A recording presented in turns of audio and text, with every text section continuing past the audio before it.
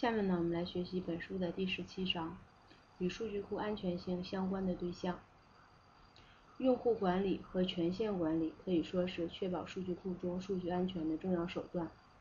如果要能够正确的对数据库中的用户赋予权限，那么就能在很大程度上提高我们数据库的安全性。那么在本章当中，我们将学习如下内容。用户管理、权限管理、角色管理以及概要文件的管理。那我们首先来看一下用户管理。那么在用户管理这一部分呢，可以说用户管理主要是针对数据库管理员说的。只有管理员才有权利进行创建、修改以及删除用户。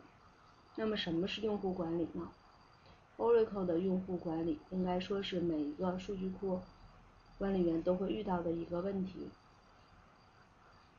对用户管理涉及的主要问题就是用户所赋予的权限。根据每个用户访问 Oracle 数据库的需求不同，那么分配给用户的权限也就不同。如果数据库管理员对 Oracle 数据库用户的权限分配的合理，那么就能够。提高数据库的安全性。相反，如果对 Oracle 数据库的用户权限分配的不合理，那么就会给数据库造成很大的隐患。那么在 Oracle 呢当中，用户登录数据库的方式主要有三种。一种呢是以一般的密码验证方式登录的，一种呢是外部验证方式，还有呢就是两种结合的方式。那么这种方式呢，并没有把验证密码存放在 Oracle 数据库里面，就是外部验证的方式。那这种方式验证的密码通常与我们数据库所在的操作系统密码一致。那么第三种也可以说是全局验证方式，那么这种方式也是不常用的，它也不是把密码存在我们 Oracle 数据库里面。那么这三种方式呢，最常用的就是以这种密码验证的方式。同时，这种方式也是安全性更高一些的。那我们来看一下，如何来创建用户呢？那么创建用户的时候，实际上大家可以在企业管理器里面来创建，就是我们前面给大家讲过的 OEM。那么也可以使用语句在我们的 Central Plus 这个平台下面来创建数据库，创建用户。那么使用企业管理器呢，创建用户是比较简单的，我们在这里面就不说了，给大家看一下我们创建用户的这个 SQL 语句，这个语句应该怎么写？嗯，创建一个用户用 create user，后面写上的是用户名，identity by password 就是他所用到的密码是什么？那么 identity by password 这个选项呢，它就是以密码的验证方式。那如果要是以外部作为验证的方式呢，那么可以选下面的，ex externally as certificate 后面是那个名字哈，选那个项就可以了。那么在下面还有这个 default table space 是为它设置一个默认表空间。那么如果省略了这个语句，那么这个新创建的用户就存放在数据库中的默认表空间里面。如果在数据库当中你没有设置默认表空间的话，那么创建的用户就存放在 system 这个表空间里面。那么第三个呢是 temporary table space，那么就是临时表空间。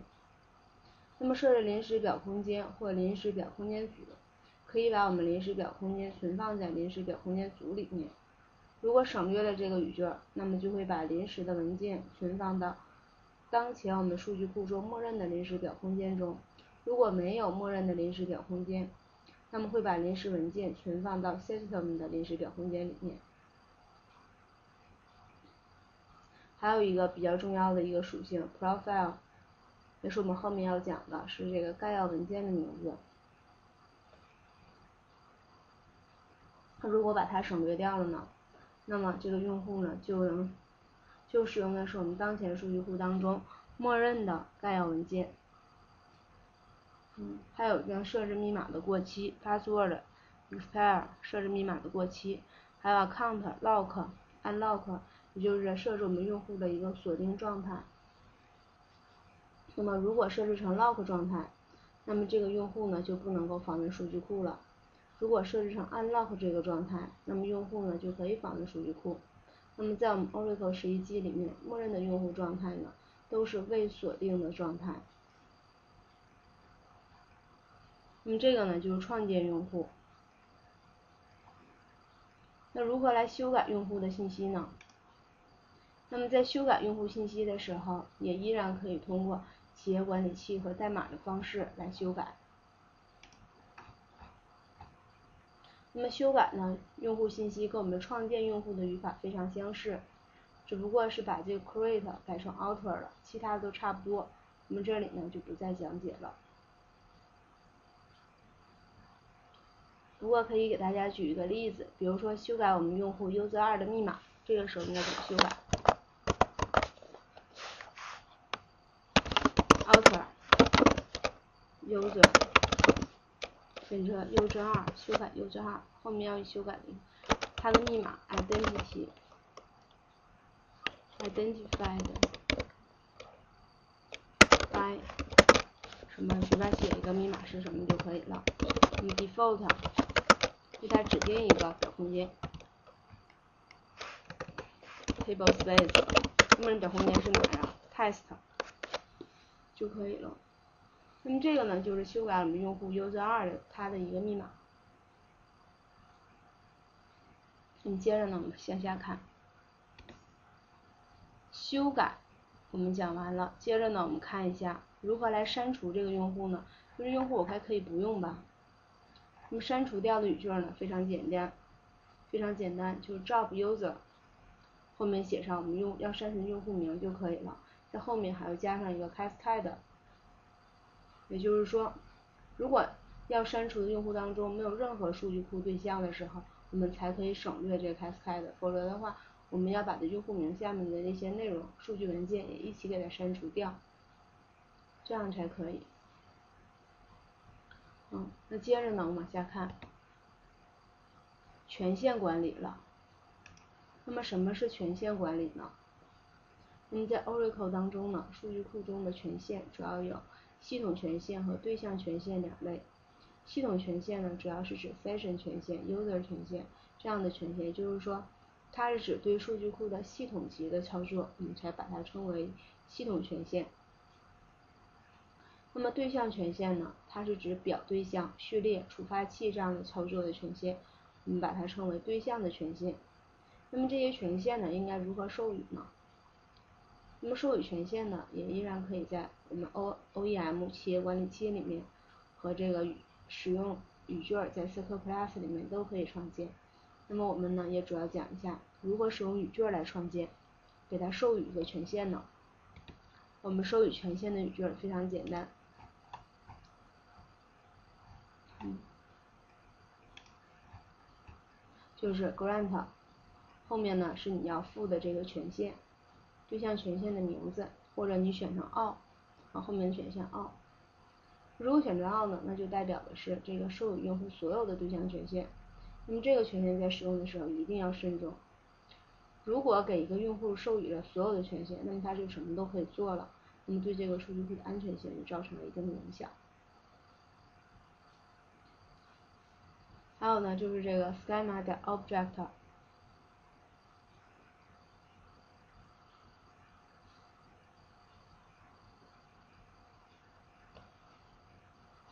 还可以加上这个属性。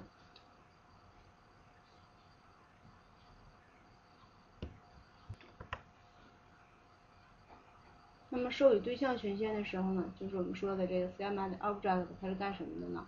是指为我们用户授予的对象权限使用的对象。那我们现在这个 PPT 上，这个呢是授予系统权限的。我们先看一下授予用户权限的这语句，跟它差不多哈。Grant，这是权限的名字，我们就不写了。权限的名字，授予哪个对象权限？名称。然后 on，然后我们看看后面的还有这个 on。on 什么呢？on 哪个对象？就我们刚才说的 schema。object。接着，对哪一个用户授予这个权限的？user 或者是角色又都可以。然后呢，下面还有两个可选项。可选项呢，一个是 with admin option，在后面可以写上 with admin option。那么设置了这个子句之后呢，就表示当前授予权限的这个用户呢，还可以给其他用户进行系统权限的授予，进行权限的授予哈。然后呢，我们最后一个还可以加上一个 with grant any object，那么它呢是表示当前给予权限的用户还可以给予其他用户对象的权限。那么假设我们在这个使用语这儿授予用户一个对象权限，假设我为用户呢 user 一授予的对象 A，那么给他一个删除的这样的一个权限，应该怎么设置？grant，delete 是删除的意思，on A A，然后设置这个对象 to user，为哪个用户设置这个权限呢？为 user 一设置这样的一个权限。那么接着呢，我们再看一下系统权限的授予。系统权限的授予呢，就要比我们刚才这个对象权限里边更少了一些。那我们就随便授予一个权限吧，比如说授予一个系统权限，系设置了一个 session 这样的一个权限，我们看一下应该怎么写。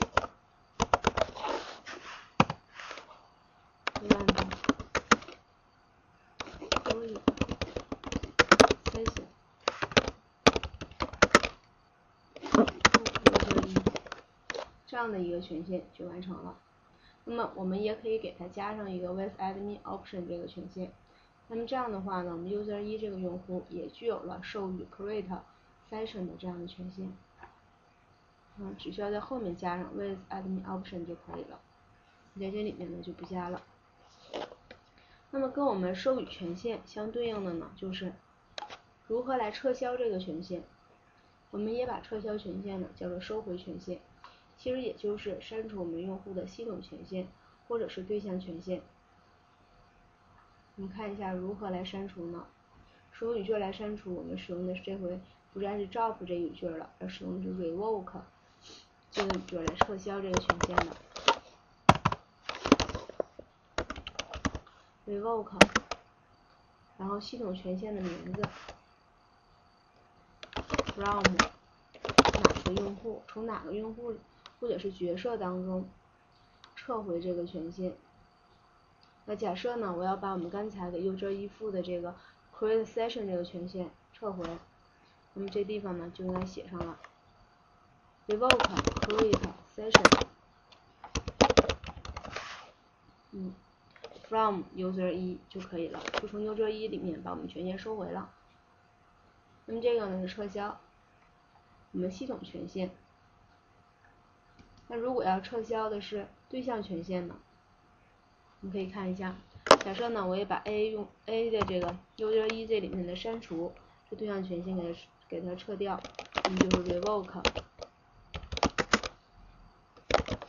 delete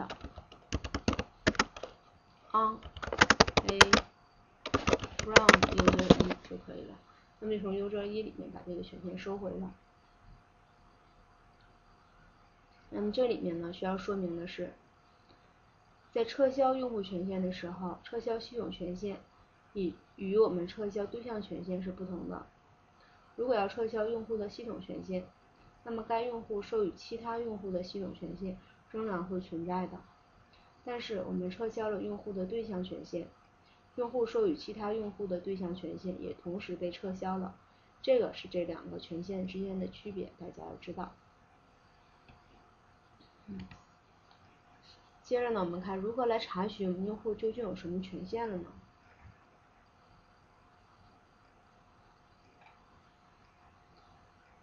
我们呢可以通过一个数数据字典来查看我们这里面有哪一些权限。那么用户的系统权限呢，在用户字典是 DBA sys PRIVS 这个里面。那么用户的对象权限呢，是存放在 DBA、TAB、PRIVS 里面。嗯，那么你可以通过这两个数据字典进行查询。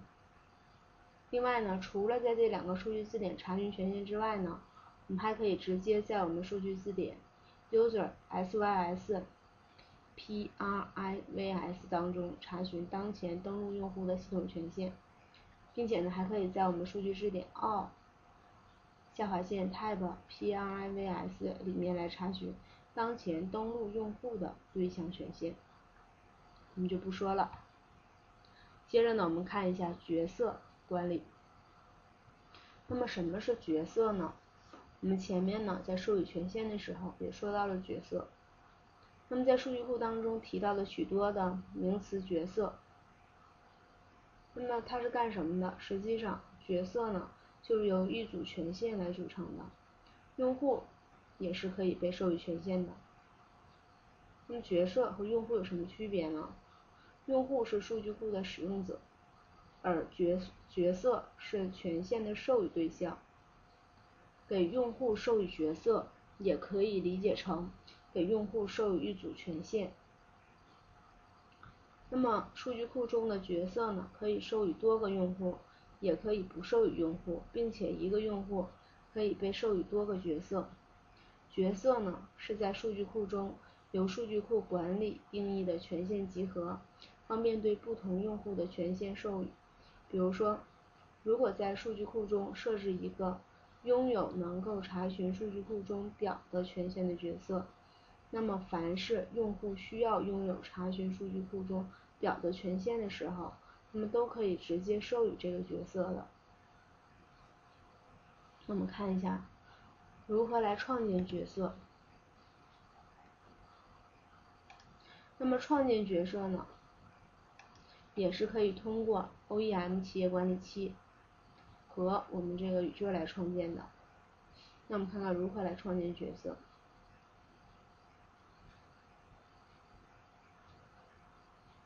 那么实际上，我们创建这个角色，然后给它授予权限，要分为这样两个步骤。创建角色呢，就是在数据库里面创建一个只有名称的这样的一个角色。那么这个角色什么都干不了。那么这个呢？我们现在 PPT 上显示的就是我们创建角色的一个语法。那么在创建角色的时候，就要注意的是验证的方式。那么可以选择的验证方式一共有四种。那么一种呢就是 not identity 的，就是不需要验证；还有一种呢是需要口令验证的方式。那么还有一个呢是外部验证，还有全局验证方式这样几种。在创建完一个用户这个角色之后呢，我们就可以为他授予权限了。那么授授予角色的权限与我们给用户授予权限的方法是一样的，这里面我们就不详细的再说了。另外呢，大家需要知道的是，在给角色授予权限的时候，这个数据库管理员必须拥有 grant any privilege。privileges，也就是说，它可以授予任何权限，这样的权限才可以给我们的角色赋予任何权限。那么呢，我们就试着来创建一个角色 test role，并给它赋予一个 create session 这样的一个权限。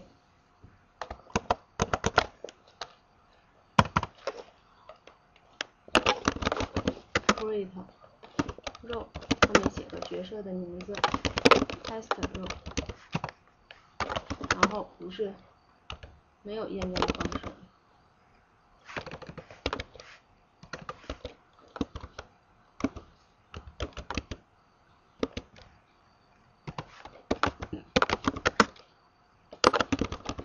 前面呢，我们已经创建了这样的一个角色，后面我们再为它开始赋予权限了，create session。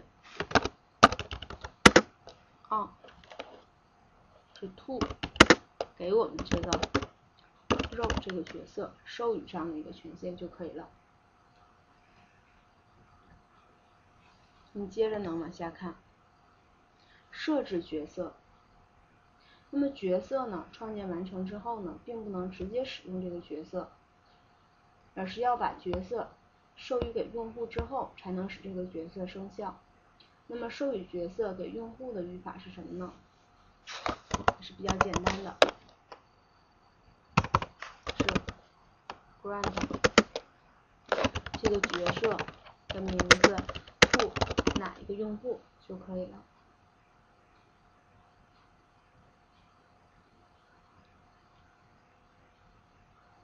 另外呢，由于一个用户呢可以用同时拥有多个角色，那么也可以设置哪些角色呢是生效的，哪些角色呢是不生效的。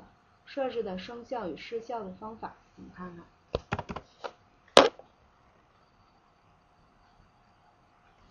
比如说 set row，然后 row，那么它呢是指定了角色的生效。再就是 set row all，它是设置用户的所有角色都生效。那么如果想设置某些角色不生效的时候，还可以怎么样呢？set row all except，除了哪些角色之外。另外呢，还可以设置我们用户的所有角色都失效，set row none n o n e 就可以了，就这些角色都是不可用的状态。那这是设置角色，那么还可以修改角色。那么修改角色的时候呢，用的是 alter 这个语句，只需要在它跟我们创建的那个语句是非常相像的，我们这里也不讲了。只是把这个 create 关键字呢改成 alter 了。那么删除角色呢也是比较简单的，drop row，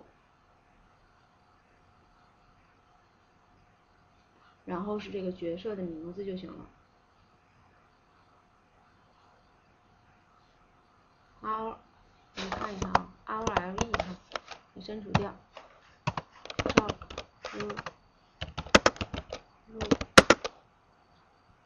然后角色的名字就可以了，这样就可以删除掉了。然后我们看查询角色怎么办呢？那我们如果需要查询一个角色的话呢，我们可以通过这个数据字典 DBA row，然后 previous 就可以查看到这个角色了。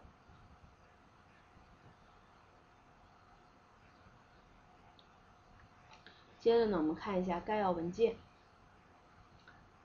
Prefile 这个概要文件呢，主要是用来存放数据库中的系统资源或者是数据库使用权限的使用限制的一些内容。那我们首先要知道什么是概要文件呢？那么在 Oracle 系统当中，如果不创建概要文件，默认呢会在我们系统当中使用默认的概要文件 default。如果创建用户时没有为用户设置概要文件，那么默认的都会使用我们数据库当中的这个概要文件，就是说都会使用这个 default 这个文件。那么这个概要文件呢，会给数据库管理员带来很大的方便。数据库管理员可以根据，首先对数据库中用户分组，按照每一组的权限不同，建立不同的概要文件。需要说明的就是。虽然我们概要文件可以用用户，但是概要文件是不能在角色当中使用的。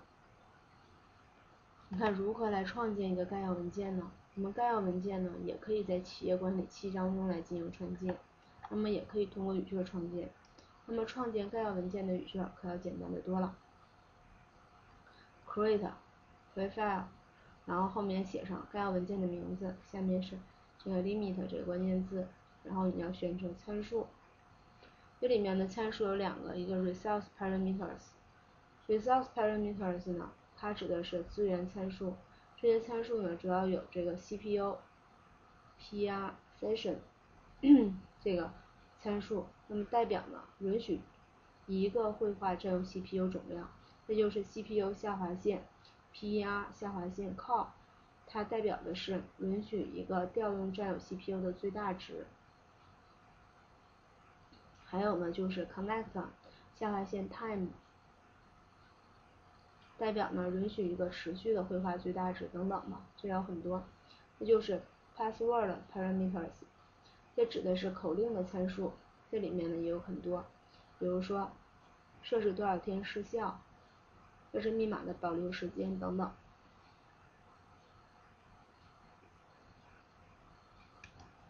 嗯，接着呢往下看修改这个概要文件。